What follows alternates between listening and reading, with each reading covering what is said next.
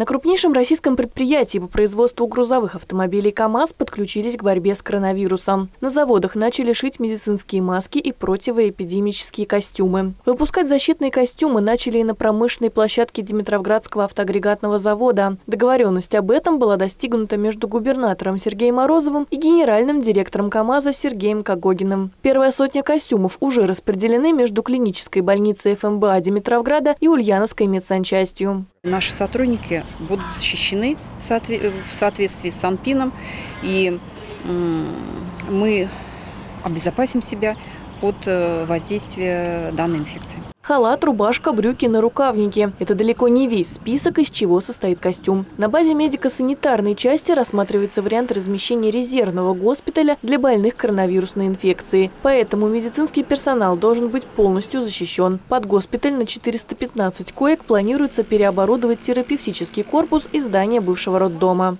Там будут шлюзы на вход и выход. Там будет разделение на чистую и грязную зону, как в одном и в другом э, корпусе.